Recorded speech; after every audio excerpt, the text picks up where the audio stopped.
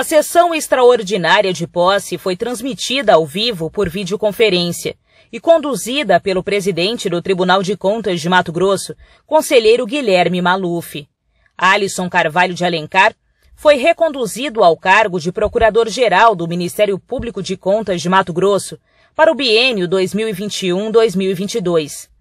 Esta é a primeira vez que o chefe do Poder Executivo Estadual escolhe por lista tríplice o cargo de Procurador-Geral do MPC, em cumprimento ao modelo constitucional em discurso, Alisson Carvalho de Alencar afirmou que no comando do órgão de controle não medirá esforços para entregar trabalho de excelência à sociedade, com responsabilidade. Controle não deve substituir e nem deve paralisar a gestão. Enquanto fiscais, nosso dever é orientar, é capacitar, é estimular, induzir que gestores públicos sejam inovadores, criativos, eficazes, ao resolver problemas públicos complexos da nossa sociedade. Nosso papel é evitar a ineficiência, não gerá-la, e o desperdício de recursos públicos. Precisamos prevenir que danos ocorram à nossa população, evitar a sensação de que o controle sempre chega atrasado e, ainda por cima, paralisa políticas públicas. Esta é a terceira vez que Alisson Carvalho de Alencar assume o comando do Ministério Público de Contas.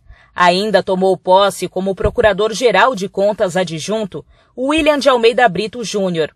A solenidade contou com a participação virtual dos conselheiros do TCE, membros do MPC, além de autoridades dos poderes, o Procurador-Geral do Ministério Público, José Antônio Borges, e a vice-presidente da Assembleia Legislativa, Janaína Riva. Eu quero realmente parabenizá-los e dizer a vocês que a Assembleia está de portas abertas para continuarmos fazendo parcerias com o Ministério Público, com o Ministério Público de Contas, com o Tribunal de Contas, para que nós possamos facilitar a vida dos nossos gestores e, ao mesmo tempo, dar eficiência na contrapartida da transparência, da decência, daqueles que querem trabalhar de forma correta, que são esses os que nós defendemos.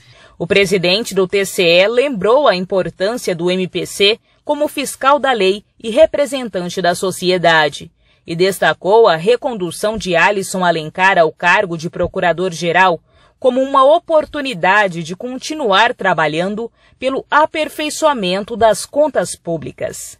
A capacidade técnica, o equilíbrio e o senso de justiça que Dr. Alisson já demonstrou em suas gestões anteriores o credenciam para continuar exercendo esta missão fundamental que resguarda os interesses maiores da população através do trabalho das instituições de controle externo.